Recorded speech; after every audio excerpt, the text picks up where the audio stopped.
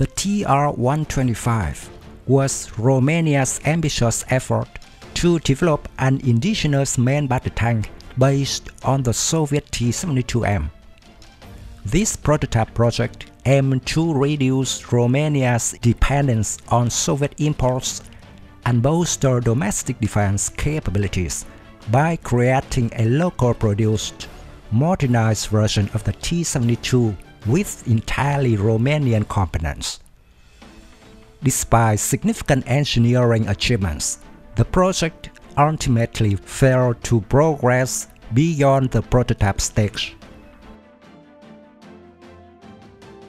In the late 1970s, Romania purchased 30 T-72M tanks from the Soviet Union and sought a production license for local manufacturing.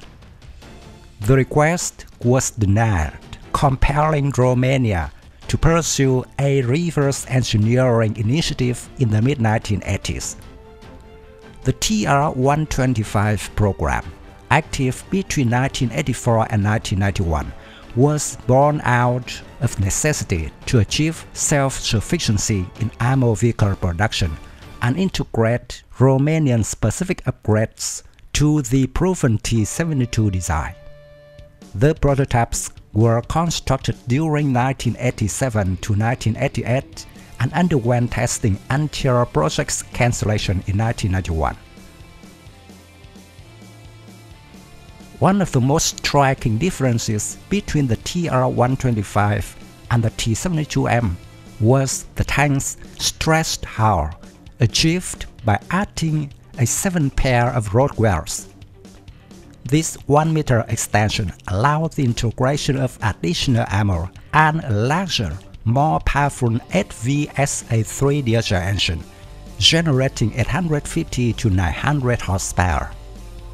This suspension upgrade enhanced the T125's mobility and cross-country performance. The 125mm A555 smoothbore gun, developed domestically, was the centerpiece of the TR-125. It was supported by a 7.62mm PKMT coaxial machine gun and a 12.7mm machine gun mounted on the Commander's cupola for anti-aircraft defense.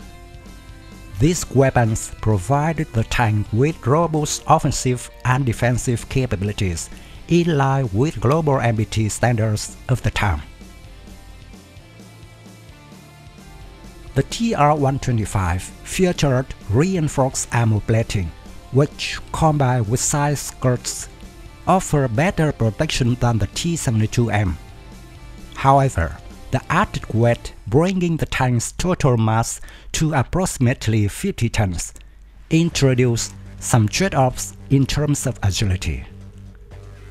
As with the T-72, the TR-125 retained a three-man crew configuration, commander, gunner, and driver, and utilized an autoloader for the main gun reducing the number of personnel required for operation. Despite its potential, the TR-125 never entered operational service. Only a handful of prototypes, estimates range from 3 to 10, were built and tested. These pilot vehicles were stored after the project's cancellation in 1991 The lack of funding, coupled with the political and economic upheaval following the collapse of the Warsaw Pact, meant that the Romanian army could not justify large-scale production.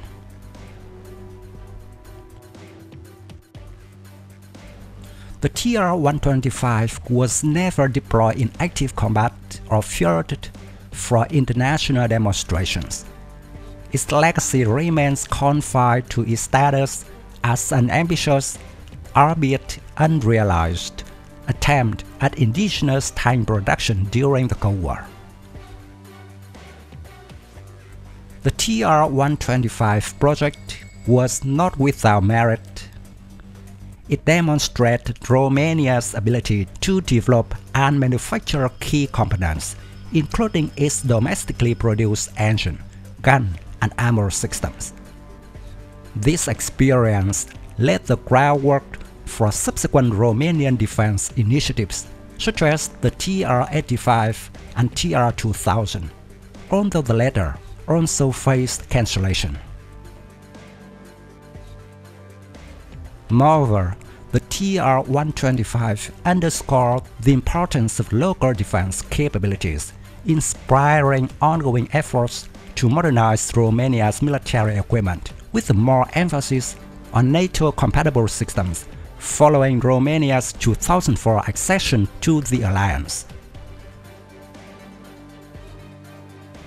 In the late Cold War and early post-Cold War era, the TR-125 could have competed with other regional MBTs, including T-72 variants of Soviet Union and Eastern Europe.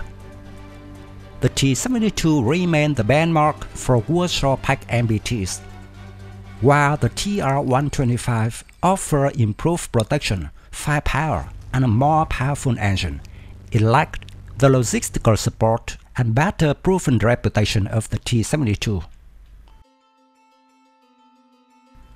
Poland developed the PT-91 Głoty, an upgraded T-72 variant, in the 1990s.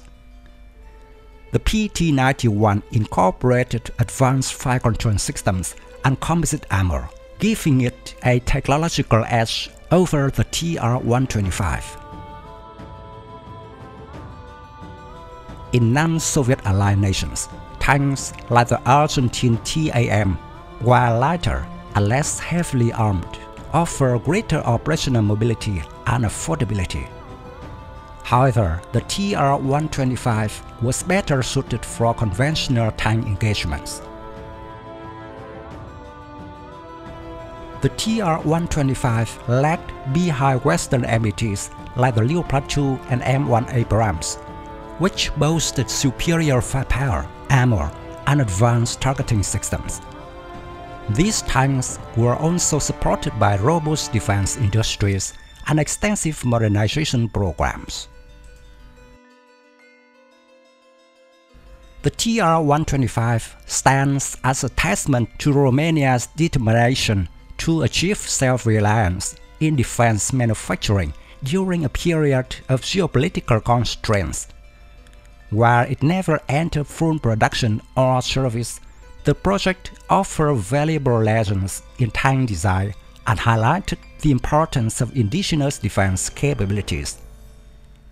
In hindsight, the TR-125 was more a stepping stone than a definitive solution, paving the way for Romania's post-Cold War efforts to modernize its military in alignment with NATO standards.